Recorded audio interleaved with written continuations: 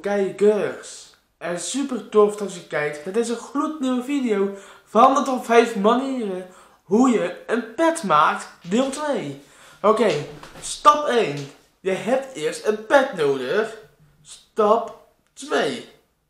Want hoe je een pet eruit wil zien, moet je ook zorgen welke vorm het moet zijn. Zoals rond of plat. En nummer 3.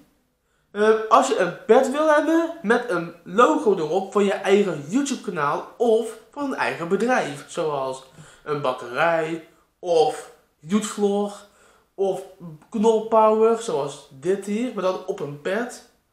Ja. Nou, en 3, 4. Nummer 4. Als, hoe je erop zet, er, is, er bestaat een website zoals uh, Print.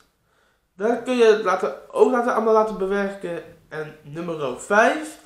Dit, dit, nummer 5 gaat niet over een pet. Het gaat over abonneren.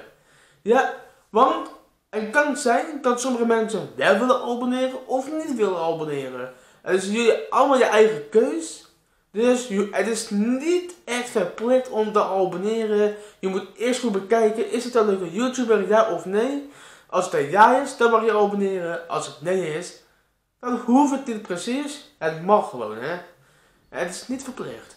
En ik ga deze video gelijk weer afronden. Vond je ook een leuke video? Morgen ben ik weer op het YouTube kanaal weer te zien. Het is maar één ding te zeggen. En dat is laters.